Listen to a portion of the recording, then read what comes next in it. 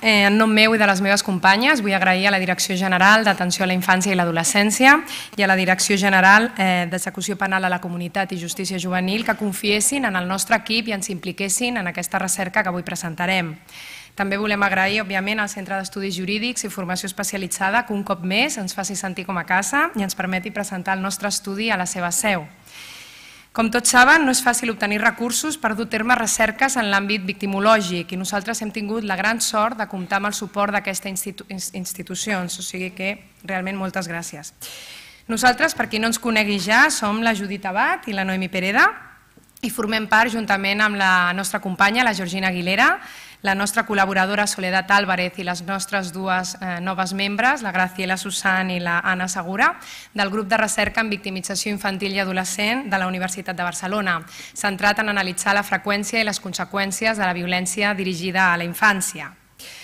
Per començar, m'agrada recordar que el benestar dels nens i joves és la nostra responsabilitat i especialment d'aquells nens i joves dels que parlarem avui d'aquells en els que hem hagut d'intervenir com a administració, ja sigui perquè la problemàtica sociofamiliar ha comportat la separació de la seva família o perquè és el jove qui, en funció d'una decisió judicial, ha estat considerat responsable d'un delicte tipificat en el Codi Penal.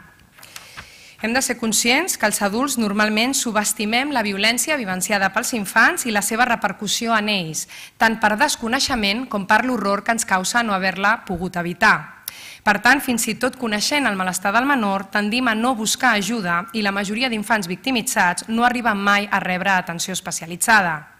En aquest sentit, la nostra perspectiva d'estudi es basa en la denominada victimologia del desenvolupament, línia teòrica introduïda pel doctor David Finkelhor i que defensa que els nens i nenes afronten les mateixes victimitzacions que afronten els adults, com la guerra, el vandalisme, un atracament, però a més a més victimitzacions específiques de la infància, com la negligència, les denominades interferències parentals o l'abús sexual, degut, entre d'altres, al seu nivell de dependència de l'adult, la qual cosa ens porta a considerar-los el grup d'edat més vulnerable a la victimització. Per altra banda, la victimització infantojuvenil va associada a greus efectes físics, psicològics i socials que poden perdurar fins a l'edat adulta de les seves víctimes. Però què és la victimització? I quines formes de victimització pateixen els nostres infants. La victimització fa referència al dany o perjudici causat a una persona pel comportament contrari a les normes socials d'una altra persona o grup de persones. És a dir, va més enllà del que coneixem com a maltractament infantil, si bé inclou aquest. Una forma de classificar les formes de victimització que pateixen els infants i joves és agrupar-les en funció de la seva incidència. Tindríem les denominades victimitzacions pandèmiques, que ocorren a una gran majoria de nens i nenes al llarg del seu desenvolupament, com són el càstig físic per part dels progenitors, la violència entre igual i germans, el vandalisme o el furt. També les victimitzacions agudes, que ocorren a un grup menor però encara significatiu de nens i nenes i tenen unes repercussions molt més greus en el seu desenvolupament, com el maltractament físic, el maltractament emocional, l'abús sexual o el segrest parental. Finalment, tindríem les victimitzacions extraordinàries, que ocorren a un petit grup de nens i nenes, però realment atreuen l'atenció de la comunitat, com serien l'homicidi o les agressions sexuals i segrestos per part de desconeguts. La victimologia s'ha centrat de forma predominant en les victimitzacions agudes i especialment en les extraordinàries, no estudiant-se les victimitzacions que la majoria de nens i nenes sofreixen i que si bé gran part d'elles no es corresponen amb delictes tipificats a la nostra legislació, són situacions on s'utilitza la violència vers l'infant i poden acabar repercutint negativament en el seu desenvolupament però també tindrien victimitzacions diferents en funció del seu contingut, com delictes comuns, furts, robatoris, vandalisme, segrestos, victimització per part de cuidadors i cuidadores, com el maltractament físic, psicològic, la negligència, victimització per part d'iguals i germans, com les agressions, l'assetjament o bullying, la violència en la parella, victimització sexual, com l'assetjament, abusos i agressions, violacions, exhibicionisme, exposició a violència entre els progenitors, però també cap als germans o violència comunitària, i victimització electrònica amb els delictes tipificats com a cyberbullying, online grooming i sexting, entre d'altres. La perspectiva de la victimologia del desenvolupament ens permet avaluar totes les formes de victimització que pot patir un infant de forma comprensiva, facilitant-nos l'anàlisi de les freqüents interrelacions que es donen entre les diferents formes de violència i que fins fa molt poc temps no han estat focus d'interès victimològic. I aquí és on apareix el concepte de polivictimització, definida com la vivència durant la infància de múltiples experiències de violència interpersonal diferents en diferents episodis i que s'ha constatat és un fenomen més freqüent del que inicialment pogués semblar. És a dir, per alguns nens i nenes l'experiència de victimització no és un esdeveniment puntual, sinó que constitueix una condició vital crònica. Els estudis sobre els efectes acumulatius de la violència han començat a aparèixer en la darrera dècada i realment mostren que haver estat víctima de múltiples formes de violència durant la infància s'associa amb uns efectes molt més devastadors que qualsevol tipologia de violència per si mateixa. Aquests nens i nenes han de ser diagnosticats i la seva intervenció ha de ser diferent.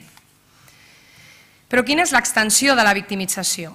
Establir l'extensió de la victimització en els grups d'edat més joves és una necessitat imperiosa en el nostre país, donat que els estudis portats a terme fins al moment s'han centrat preferentment o en estadístiques oficials o en enquestes dirigides a grups d'edat adults, existint un gran desconeixement social respecte a la realitat de la victimització en infants i adolescents. Les campanyes de sensibilització que poden veure a les diapositives sorgeixen amb la finalitat d'incrementar el nombre de notificacions de possibles situacions de risc i desemparament infantil, que malauradament en el nostre país són molt baixes. Per aquest motiu, els estudis d'incidència no mostren en cap cas la realitat de la victimització.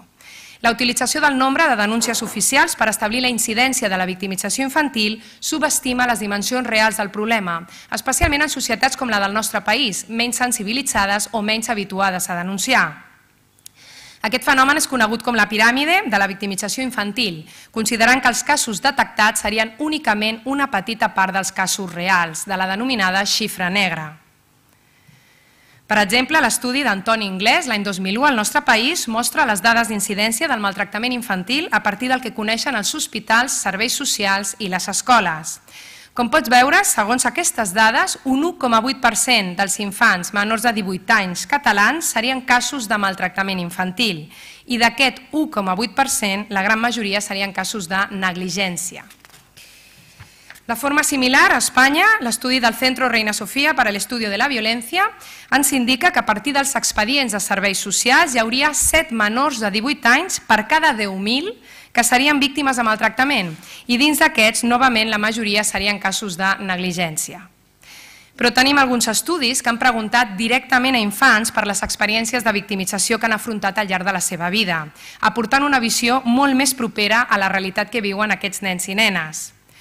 Com a treballs pioners destaquen en primer lloc el d'Esterava l'any 1995, que amb una mostra de 532 menors de la província de Cádiz va obtenir una alta prevalença de delictes comuns per sobre del 50%, agressions físiques prop del 35% i agressions sexuals més del 30% de les noies i prop del 10% dels nois. També cal esmentar de Marisol Lila, Juan Herrero i Enrique Gracia, que amb una extensa mostra d'adolescents valencians han avaluat la freqüència de sis formes de victimització, trobant novament elevats percentatges de victimització, amb únicament un 10,8% de joves no victimitzats. Com a estudi més recent, destacar el publicat pel nostre equip amb una mostra de 1.107 estudiants de secundària de 7 escoles catalanes. En aquest treball s'observa que la victimització en adolescents és una realitat freqüent, i que molts d'aquests nois i noies pateixen més d'una forma de victimització, en línia amb el que s'ha obtingut a d'altres països. Trobarien com a mitjana prop de quatre formes de victimització diferents en aquests nois i noies. El més freqüent serien els delictes comuns, amb un 61,5%, i el menys freqüent la victimització sexual, amb un 8,7%. Si ens centrem en mostres d'infants i joves en risc, ens hem d'anar fora del nostre país. Peers i col·laboradors van observar l'elevat nombre de victimitzacions múltiples que patien els infants del sistema de protecció, en aquest cas vinculades a formes de maltractament intrafamiliar. Ens trobaríem amb que la, el maltractament més freqüent seria l'emocional, un 90% dels nens i nenes al sistema de protecció als Estats Units, i el menys freqüent, tot i que molt alt, seria la victimització sexual. Un estudi més recent de CIR i col·laboradors al Canadà mostra que aquesta alta victimització perdura fins i tot després d'haver introduït mesures de protecció en aquests nens i nenes. Estaríem parlant d'un 71% de victimització per part dels iguals i, novament, el menys freqüent, però igualment alt, trobaríem un 21% de victimització sexual. Si observem què passa amb joves infractors, trobem dades molt similars. Són nois i noies altament victimitzats, tant abans de la mesura educativa aplicada com després d'aquesta. I com afecta aquesta victimització als nostres nens i joves? Existeixen múltiples conseqüències de la victimització que s'estenen al llarg del cicle vital de l'individu i que tindran una repercussió tant en ell mateix com en el seu entorn i a la societat a llarg termini. Alguns exemples d'estudis, hi ha moltíssims, són els que poden veure a la diapositiva. Trobant problemes de conducta en nens i nenes víctimes de maltractament físic, sintomatologia internalitzant en infants que pateixen negligència o abús sexual, trastorn per estrès posttraumàtic en nens i joves víctimes del terrorisme, trastorn de la conducta alimentària, ideació i conducta suïcida en joves víctimes d'abús sexual infantil i trastorns de la personalitat i trastorns mentals greus en víctimes adultes de diverses formes de violència en la infància. Podem hipotetitzar, per tant, que infants i joves altament victimitzats com els atesos pel sistema de protecció i pel sistema de justícia juvenil presentaran un major ajust, desajust perdó, psicològic. Especialment important, com tots saben, és la presència de sintomatologia externalitzant en aquests nois i noies. Ja des de la criminologia clàssica s'ha establert la relació entre victimització i violència, amb la denominada transmissió intergeneracional de la violència o cicle de la violència. En l'actualitat són múltiples els estudis que segueixen mostrant l'estreta relació que existeix entre haver estat víctima de maltractament i la comissió de conductes delictives, així com si bé poc estudiada entre haver estat tutelat i la comissió de delictes posteriors. Però si bé és cert que la victimització i especialment la polivictimització suposen un alt risc de problemes psicològics, no tots els infants presenten sintomatologia psicopatològica o una afectació en el seu funcionament habitual malgrat aquestes experiències. Com veuen a la diapositiva, hi ha variables vinculades al propi infant, al victimari, a l'experiència de victimització i a l'entorn i suport de què disposi aquest infant que incidiran en la seva capacitat de resiliència. I és aquí, en aquest entorn, on tenim un paper important els professionals que treballem amb aquests nois i noies, constituint-nos en el que Boris Tilurnik denomina tutors de resiliència.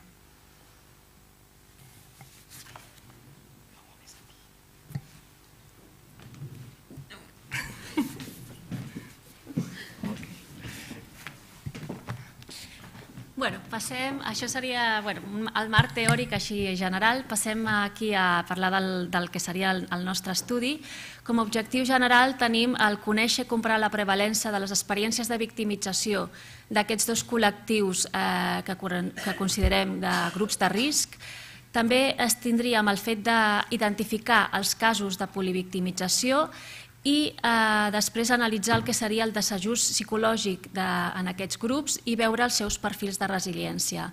Una mica la idea, la finalitat última que tindríem amb tot això seria poder eh, sensibilitzar la, a la societat sobre els recursos i també les necessitats d'aquests joves i, com dèiem abans, una mica la, la idea de trobar propostes de millora en, en la seva atenció. Tenim dues, les dues mostres, la, la de la de Gaia està configurada per 129 adolescents, 64 nois i 65 noies, per tant bastant equilibrat a nivell de nois i noies. Eh, els, en aquest cas són de 12 a 17 anys i en el moment de l'entrevista estaven en 5 eh, centres d'acollida i en 13 centres residencials o CRAES. En el cas de la mostra de Direcció General d'Execució Penal a la Comunitat i de Justícia Juvenil tenim 101 adolescents, 19 eh, noies i uns 82 nois. En aquest cas eren provinents de tres centres de justícia juvenil i de cinc equips de Medi Obert. Aquí cal dir que eh, la representació dels joves de Medi Obert és una mica bastant inferior al que correspondria segons l'univers que tenim, la distribució de l'univers. Llavors, aquests estarien una mica menys eh, representats del que tocaria. Els instruments que es van utilitzar eh, per fer aquesta avaluació van ser tres, es van utilitzar en l'ordre en què es veuen aquí a la diapositiva. El primer de tots era el Adolescent Resilient Questionnaire del Garland i els i col·laboradors.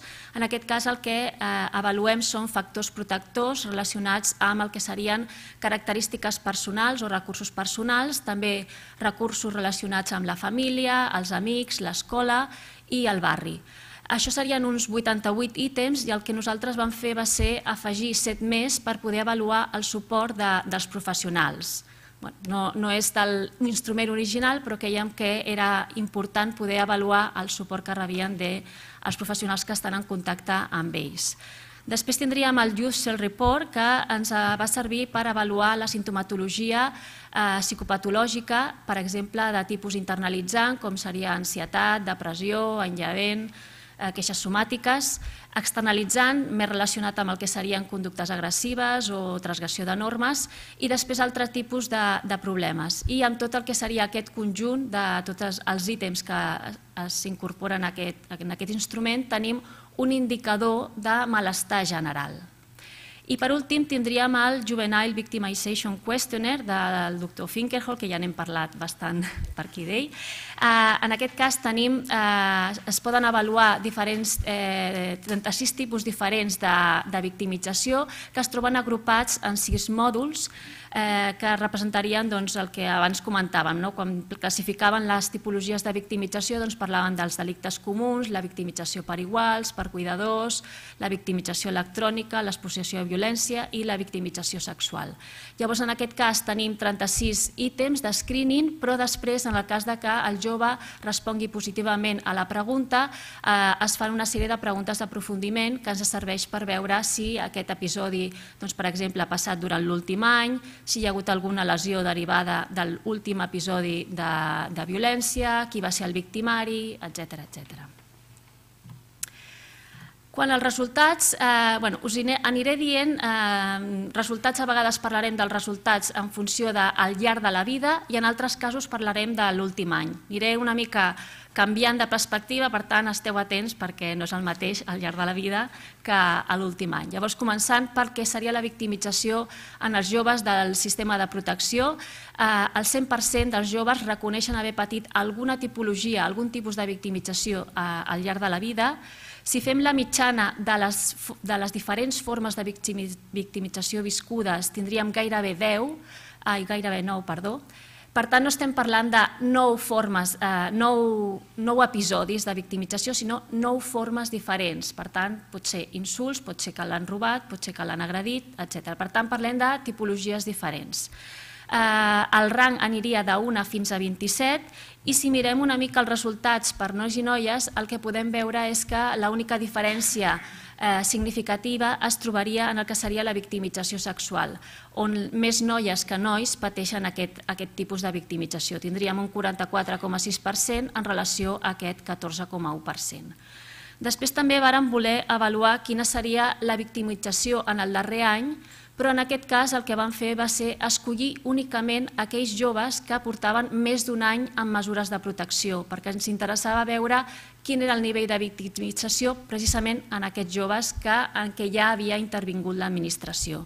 En aquest cas, en aquest darrer any, tindríem que el 84,2% diu que ha patit algun tipus de victimització, un o més. La mitjana de formes de victimització estaria entre 3 i 4 i el rang aniria entre 0 i 13. Resultats en funció de nois i noies, veuríem que hi haurien diferències significatives quan a delictes comuns i també en la victimització per cuidadors, en què les noies estarien tenint més freqüentment aquestes tipologies de, de victimització. Eh, el que també ens interessava veure era eh, comparar les dades que teníem de, sobre el llarg de la vida amb aquelles de l'últim any en aquests joves que dèiem abans, amb aquests 95 joves amb la idea de que la, el que s'espera és que hi hagi una reducció molt gran de la victimització, ja que estem comparant 14 anys de la seva vida amb un únic any, d'acord, el darrer any. Llavors, el que, una mica el que hem vist és que sí que hi hauria un decrement eh, bastant important el que seria la victimització per cuidadors i la victimització sexual, però hi ha altres àrees en què el, aquest decrement seria bastant discret, com per exemple el que serien delictes comuns eh, o la victimització electrònica. Passaríem al que serien les dades de justícia juvenil. En aquest cas també al llarg de la vida tenim el 100% de, de joves que estan reconeixent que han patit algun tipus de victimització. La mitjana de formes diferents de victimització seria gairebé de 9 i aquí el rang aniria de 2 fins a 22 tipologies diferents. Eh, si comparem nois i noies, veiem que hi ha una diferència significativa en relació als delictes comuns. Més nois estan patint alguna, algun tip, un o més tipus de delictes comuns i més noies estan patint victimització sexual. També aquí el que van fer va ser agafar aquells que portaven més d'un any amb expedient obert a justícia juvenil per veure quins tipus de victimització havien patit durant aquest últim any. En aquest cas van veure que el 91,4% diu que ha patit algun tipus de victimització durant l'últim any, la mitjana seria d'unes 4-5 formes de victimització i el rang aniria de 0 a 11. En aquest cas no comparem nois i noies perquè el grup es redueix a 58 i no donava possibilitats d'una comparació amb una, mica de fiabilitat. Bé, també vam analitzar aquest decrement de la victimització i ens, trobem, eh, ens tornem a trobar amb el fet de que en algunes tipologies el decrement és força baix, com podria ser els delictes comuns, la victimització per iguals o germans i la victimització electrònica. Bé, tot i que parlàvem d'aquest decrement, o sigui, hem vist que sí que hi ha un decrement en el que seria la, la victimització, però aquí el que volíem destacar era posar-ho en comparació amb quina és el nivell de victimització en una mostra comunitària, eh, per tant, població general, i veure quina, quina seria les diferències que trobem. I el que estem veient és que, tot i que el decrement del que parlàvem, encara estem amb nivells de victimització bastant superiors al que ens estem trobant a la població comunitària. L'única dada que s'assemblaria una mica seria aquesta eh, victimització per part de cuidadors en joves de justícia juvenil i població comunitària. Volíem establir una mena de comparació per veure una mica els perfils de victimològics d'aquests dos grups, també tenint en compte que l'edat no acaba de ser la mateixa, que la distribució per sexes tampoc és la mateixa, però sí que considerem que ens pot donar una idea de quina seria la, bueno, la, la, la tipologia o el perfil victimològic d'aquests dos grups. Llavors, posant en relació aquests, aquests grups i tenint en compte algunes subcategories, no només les, les sis grans categories, sinó algunes subcategories, el que podem veure és que els joves de justícia juvenil eh, pateixen més sovint delictes comuns, específicament aquells que serien contra la persona, més victimització per iguals o germans, principalment de tipus físic, violència física, i la que seria violència en el si de la parella, també patirien més exposició a violència comunitària. En canvi, eh, si mirem els, els nois de, de la, del sistema de protecció, veiem que pateixen més victimització per part de cuidadors, especialment aquella de tipus psicològic o la negligència, més victimització per iguals, però seria més la de tipus relacional o verbal, per tant la idea de que se'ls exclou, se'ls insulta, etc. I més victimització sexual, específicament aquella que implicaria contacte, més el que seria l'exposició a violència intrafamiliar. Una altra comparativa que volíem fer era eh, veure quina és l'edat d'inici de la victimització a partir de quan es produeix el primer episodi. Llavors el que ens està dient, tots aquests puntets que veieu aquí, seria que hi ha un inici més primerenc de la violència en els joves del sistema de protecció.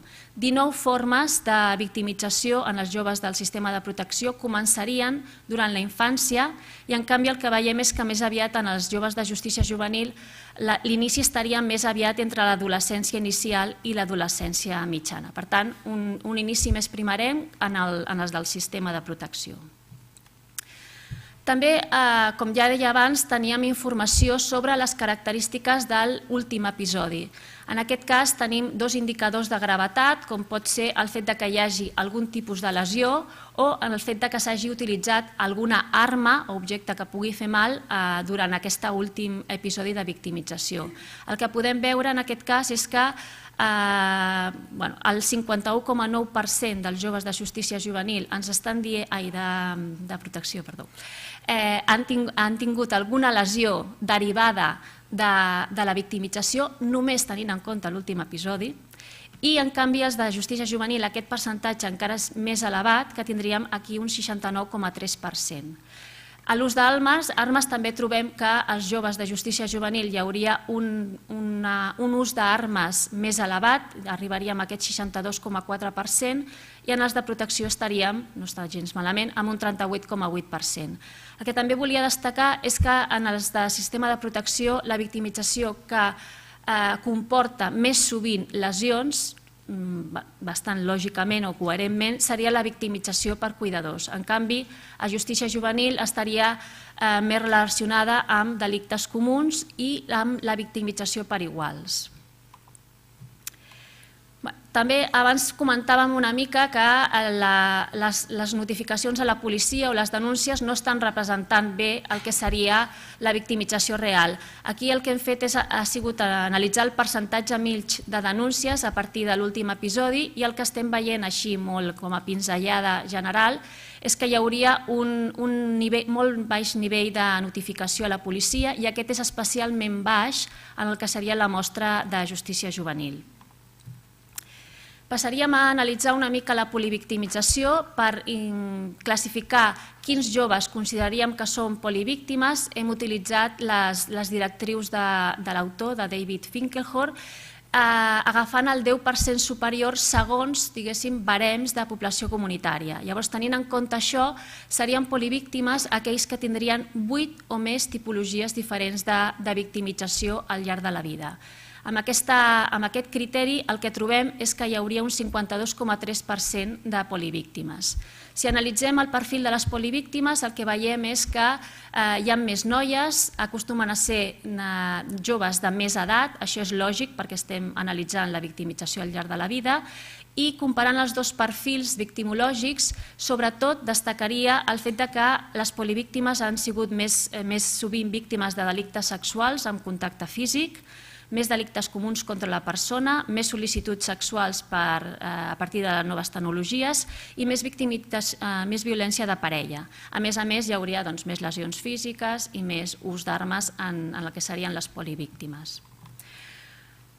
Polivíctimes en, el, en el, la mostra de justícia juvenil, aquí ens trobem utilitzant aquests barents de, de mostra comunitària amb un 72,3% 72, de, de polivíctimes, Mirant quin és el perfil, eh, no hi haurien diferències a nivell sociodemogràfic, però sí en el que seria el perfil victimològic. Aquí també el que veiem és que acostumen a ser més víctimes eh, de victimització per iguals o germans, especialment la física o en el si de la parella, més victimització per part de cuidadors, més víctimes de delictes comuns i exposició a violència comunitària. També, igual que abans, més lesions físiques i més ús d'armes.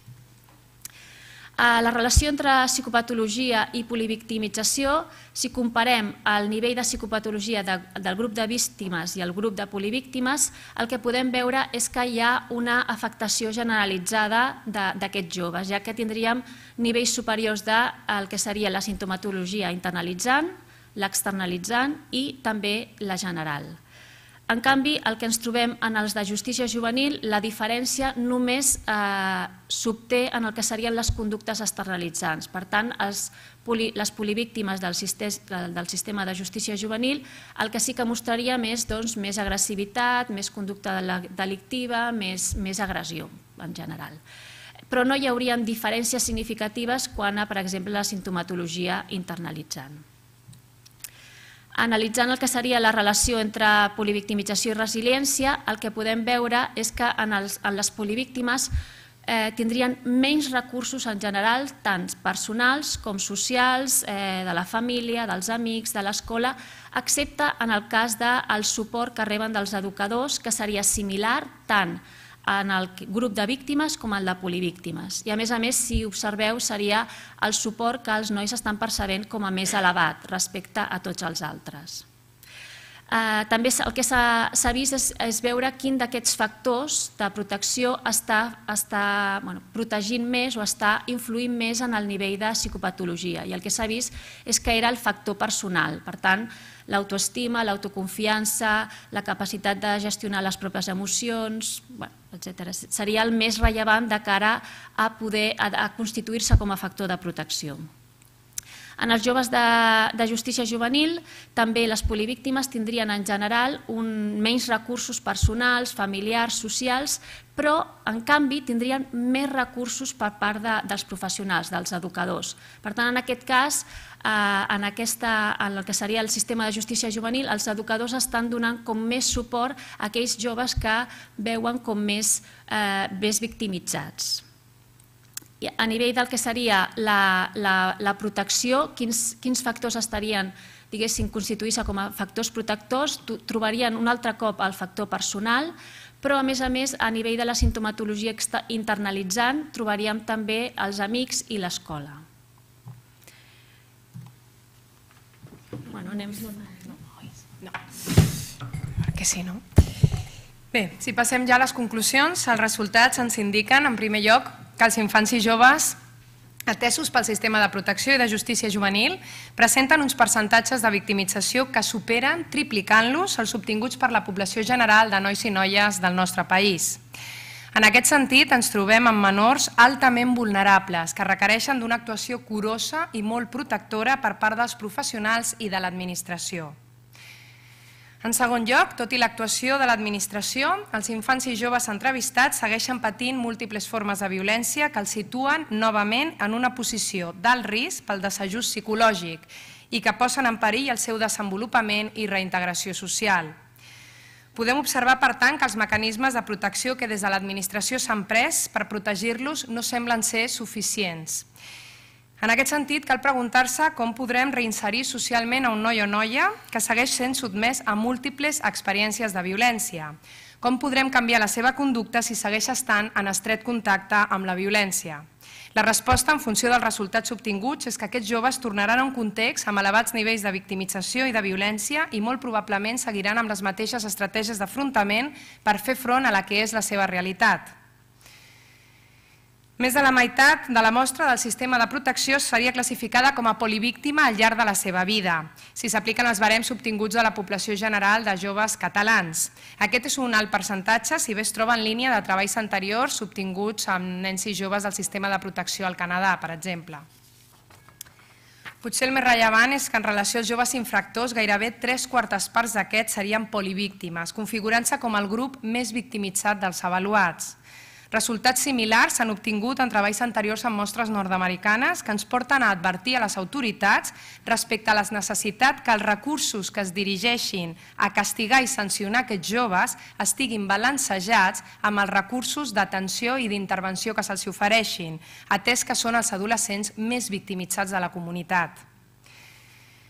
Si bé tots dos grups de joves presenten una elevada polivictimització, es poden apreciar certes diferències en el seu perfil victimològic, tant respecte a la prevalença de les diverses formes de victimització com en l'inici més primerenc d'algunes d'elles en un o altre grup.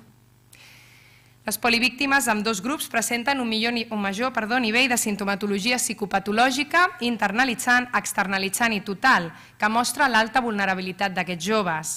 En aquest sentit, tot i tractar-se d'un estudi transversal, podem afirmar que la victimització sembla precedir la conducta delictiva, ja que les experiències de violència avaluades s'inicien de forma molt primerenca, tot i que aquesta victimització pot continuar i, de fet, continua un cop la delinqüència ja s'ha iniciat. En concordança amb d'altres estudis, les polivíctimes del sistema de protecció presenten menys recursos personals, familiars i socials per fer front a la victimització que aquells joves que han estat víctimes d'un menor nombre de formes de violència. El risc de desajust derivat de la victimització múltiple que pateixen aquests nois i noies se l'afegeix al risc derivat de disposar d'un menor nombre de recursos per fer-li front. El suport dels educadors és l'únic recurs que obté un nivell similar en amb dos grups i ha de ser valorat de forma molt positiva. Les polivíctimes del sistema de justícia juvenil, però, presenten menys recursos familiars, però més recursos per part d'educadors, tutors i tècnics, que semblen oferir més ajuda a aquests nois i noies més afectats per la violència. Es tracta d'un resultat positiu que els propis nois i noies valoren i tenen en compte en les seves respostes. En aquest sentit, cal subratllar la importància de la sensibilització professional respecte a la vulnerabilitat d'aquests nois i noies.